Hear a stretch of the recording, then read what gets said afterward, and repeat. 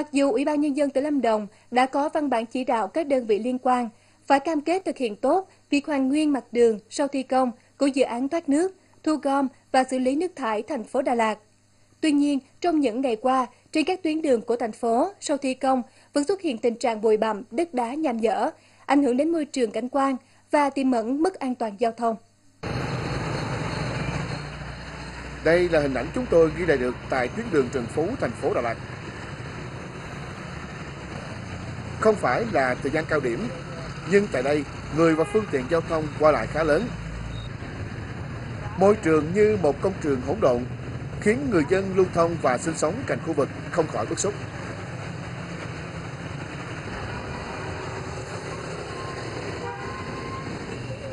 thi công mà làm ờ, trong thành phố mà làm cái này rất là nguy hiểm rồi đấy là nhiều khi né ổ gà cái bên này đụng bên kia ở cái đó thì cấp trên chắc người ta phải nhìn thấy thôi chứ bây giờ tụi người dân đó mà biết sao. Bụi bặm và ảnh hưởng an toàn giao thông. Đề nghị khi mà đã làm xong thì trả lại mặt bằng cho nó như cái nguyên vẹn như cũ. Những bức xúc của người dân là có cơ sở. Bởi hàng ngày họ phải chịu cảnh tượng như thế này.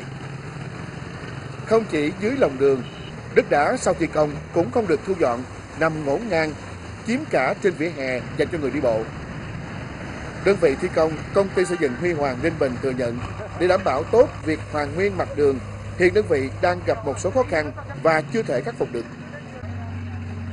Cũng thành thật xin lỗi bà con là về những cái cái cái mà chúng tôi không không thể quẻ kiểm soát nổi, tức là cái thời gian xe nó chạy đến nó hơi muộn ờ, hàng hàng ngày nó vậy. Như vậy, những lo ngại của người dân đã trở thành hiện thực. Khi tuyến đường thi công sau khi hoàn nguyên đã không đảm bảo, vừa ảnh hưởng đến môi trường, vừa ảnh hưởng đến uh, mất an toàn giao thông đã có những cấp kết ngay từ đầu. Tuy nhiên, đơn vị thi công đã không thực hiện đúng với cái chức trách của mình. Các cái đơn vị liên quan cũng như đặc biệt là chuẩn bị chủ đầu tư phải tăng cường công tác giám sát, kiểm tra để các tuyến đường sau hoàn nguyên được đảm bảo chất lượng cũng như là đảm bảo về môi trường cảnh quan trong khu vực. Dự án thoát nước thu gom và xử lý nước thải thành phố Đà Lạt được chia làm hai giai đoạn. Giai đoạn 1 đã triển khai 25 km, giai đoạn 2 được triển khai vào tháng 7 2017 với chiều dài 65 km. Theo kế hoạch, đến tháng 12 năm 2017 phải hoàn thành. Không riêng gì tuyến đường Trần Phú, hiện nay trên 87 tuyến đường của dự án này triển khai việc hoàn nguyên mặt đường vẫn chưa được đảm bảo. Vì vậy, đơn vị chủ đầu tư là công ty cấp thoát nước Lâm Đồng cùng các ngành Sở Giao thông Vận tải, Sở Xây dựng và chính quyền thành phố Đà Lạt cần tăng cường kiểm tra, giám sát và có hướng xử lý dứt điểm tình trạng này nhằm thực hiện tốt chỉ đạo của anh dân tỉnh Lâm Đồng về việc hoàn nguyên mặt đường sau thi công, đảm bảo mỹ quan và an toàn giao thông ở thành phố Đà Lạt.